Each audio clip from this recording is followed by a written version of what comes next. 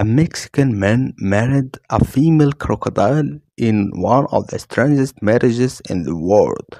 What happened with the mayor of a city in Mexico who officially announced his association with a female crocodile living in his area as a sign of peaceful coexistence.